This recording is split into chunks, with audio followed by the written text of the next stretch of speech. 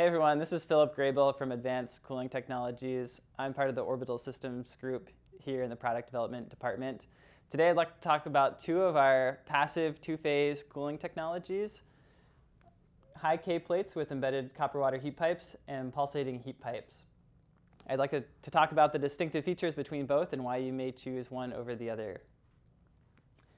HiK, high K plates have embedded copper water heat pipes.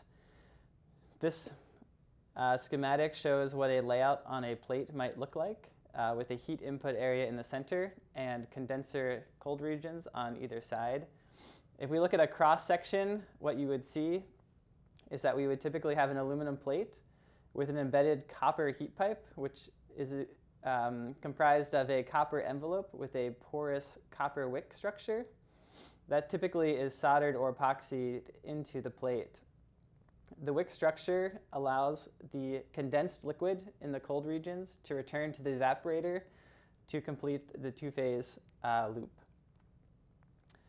Another technology is pulsating heat pipes. Again, this shows a similar form factor, but in this case, rather than discrete um, heat pipes, we have a single continuous serpentine channel, which is embedded within the, the aluminum plate. You can see that this diagram has many fewer components is simply a hollow serpentine channel, uh, which is manufactured within an aluminum plate. This technology works somewhat differently where we have liquid slugs and vapor slugs distributed throughout the channel.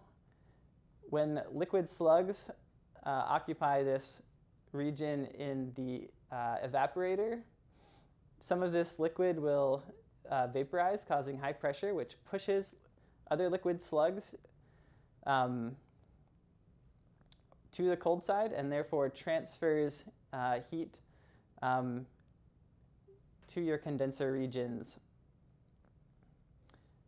Both of these technologies can handle high heat fluxes and are excellent for many applications. There are a few reasons why you may choose one over the other. Um, if we focus on pulsating heat pipes, um, there are a few reasons why you may choose that technology over conventional HiK plates.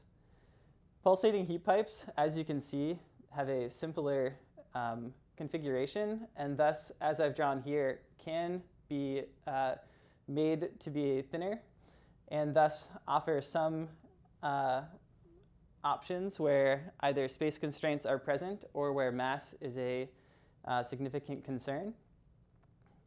Another reason you may choose a pulsating heat pipe is that this um, configuration can be compatible with many working fluids, whereas copper water heat pipes typically use water as the working fluid. So for applications where temperatures are um, below zero and there's a likelihood of freezing uh, with water as your working fluid, pulsating heat pipes are compatible with many other working fluids such as ammonia or alcohols or refrigerants. So for space applications or other applications where you're looking at cold temperatures, pulsating heat pipes may be a good option. And finally, pulsating heat pipes um, can be slightly more flexible as far as uh, geometry configurations. Um, heat pipes require, as I mentioned, um, slightly thicker plates and also have um, um, bend radii that must be followed for the heat pipes, um, whereas pulsating heat pipes can um, have very tight turn radii and depending on the manufacturing method can handle complex geometries where conventional heat pipes may struggle to, to, um, to meet your keep-in requirements.